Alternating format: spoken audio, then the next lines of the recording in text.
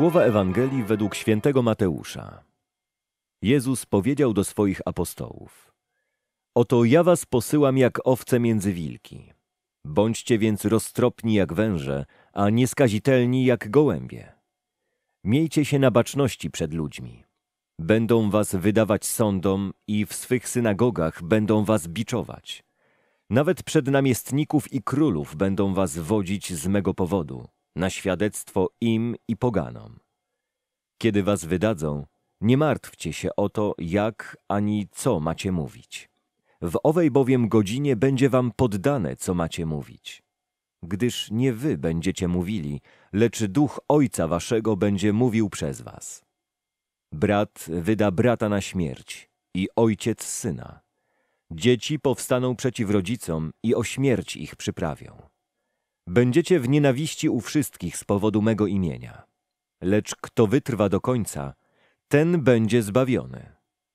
Gdy was prześladować będą w tym mieście, uciekajcie do innego. Zaprawdę powiadam wam, nie zdążycie obejść miast Izraela, nim przyjdzie Syn Człowieczy. Jezus nie obiecuje swoim uczniom skarbów tu na ziemi. Ewangelia to dobra nowina o Królestwie Niebieskim, a nie ziemskim. Chociaż chcielibyśmy, aby było inaczej, aby ten sukces przekładał się na ziemskie życie. Niektórzy z chrześcijan chcieliby pousuwać z Biblii wszystkie te fragmenty, które mówią o krzyżu, cierpieniu i prześladowaniach, a pozostawić jedynie te mówiące o sukcesie, radości i zmartwychwstaniu.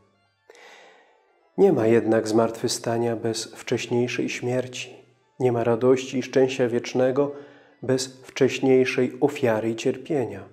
Nie ma również sukcesu bez wcześniejszych porażek. Najważniejszym przesłaniem tej dzisiejszej Ewangelii jest obietnica Chrystusa, że w każdej sytuacji życia Bóg jest zawsze z nami, a Jego Święty Duch będzie nas prowadził.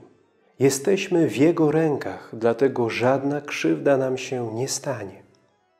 Prześladowania, krzyż i cierpienie muszą przyjść, bo one są wpisane w życie Jezusa i w życie każdego z Jego uczniów.